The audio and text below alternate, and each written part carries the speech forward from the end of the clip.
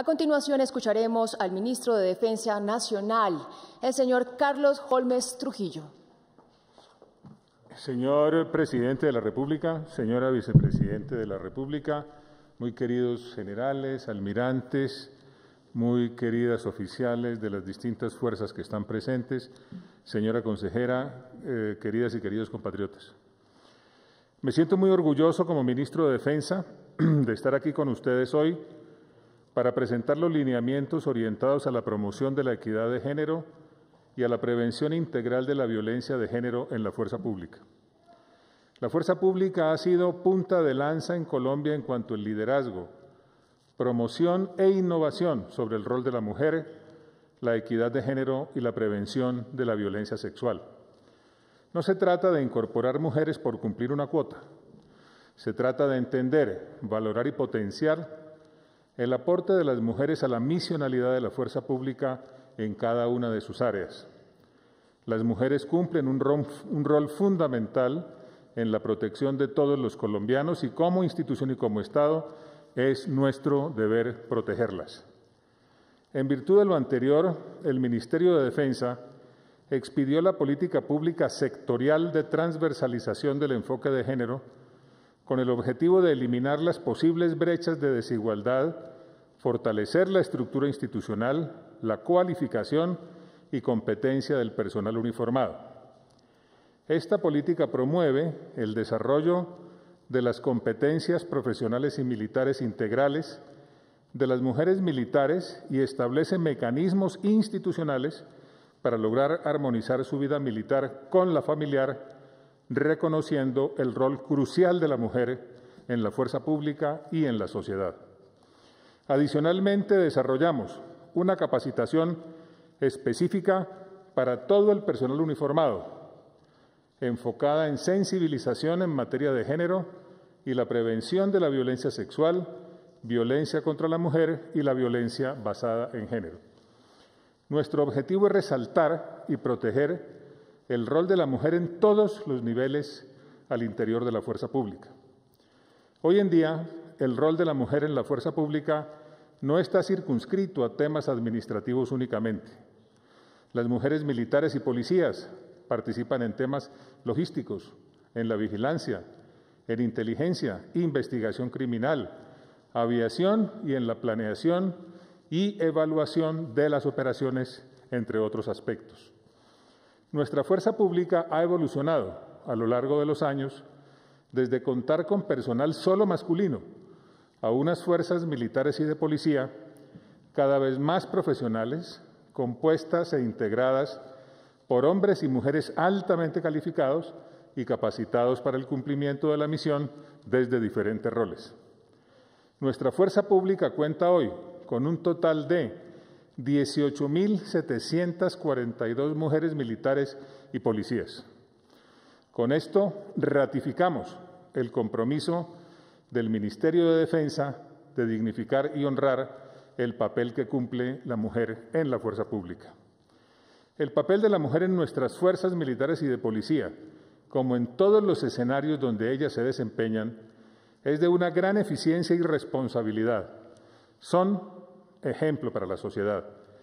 Quiero que haya más mujeres, como lo quiere usted, señor presidente, en nuestras fuerzas, muchas más, y en las mejores posiciones. Rechazamos tajantemente todas las formas de violencia y conductas que atenten contra la dignidad de todas las mujeres en la institución.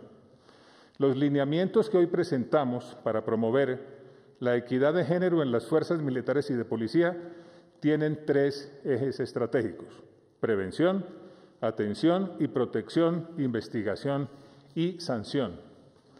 Para trabajar el primer eje, la prevención, se constituirá una mesa de trabajo por parte del Comando General de las Fuerzas Militares y la Policía Nacional para revisar y fortalecer los procesos actuales de incorporación y reclutamiento, en particular en el campo de la salud mental con el fin de detectar rasgos de comisión de violencias basadas en género.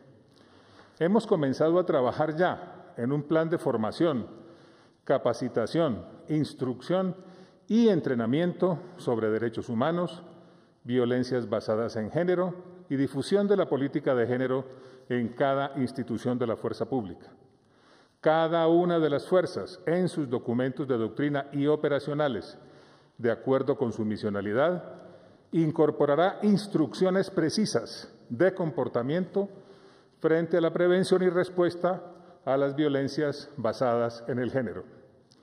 Y vamos a fortalecer a través de diversos canales la denuncia y el reporte de casos de violencias basadas en el género, particularmente la violencia contra las mujeres cometidas por miembros de la fuerza pública en actividades propias del servicio o ajenas a este.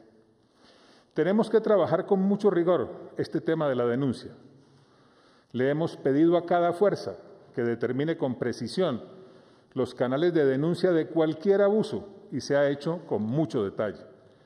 Las fuerzas militares y la Policía Nacional han habilitado sus canales de intranet, redes sociales, emisoras y revistas como canales de denuncia.